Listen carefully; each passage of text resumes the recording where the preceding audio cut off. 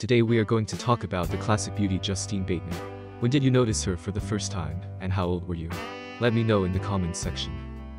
Let me tell you a few interesting trivial facts about her, while you enjoy these gorgeous photos. Her company, Section 5, specializes in production and consulting.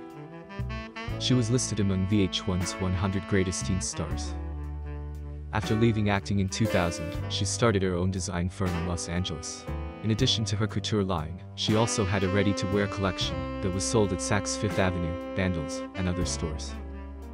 A photograph of her appears on pages 166 and 167 of the first edition of Hollywood yoga guru Bikram Choudhury's how-to book. She has said that she would love to work with Quentin Tarantino on a movie. Justine Bateman once said, TV as we knew it is absolutely dead. There are still shows in production, still ad buys being made, but the numbers these shows get are a small fraction of the ratings these same type of shows used to command. The amount of TV shows produced annually decreases every year. The amount of people employed by TV shows is far less than it used to be. All these decreases are steady from year to year. Traditional TV is not in a slump, it has been steadily declining.